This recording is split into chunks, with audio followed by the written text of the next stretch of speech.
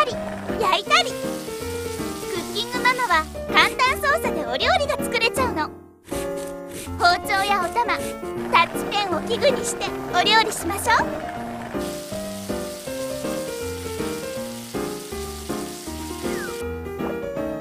遊び方はとっても簡単。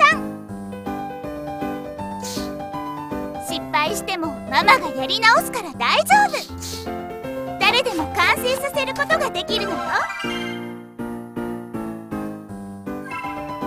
ハンバーグにナポリタンにカレーライスいろんなお料理が楽しめちゃう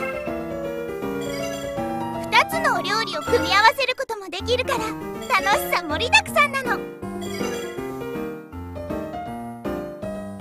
タッチペンで簡単お料理クッキングママママと一緒にお料理しましょう。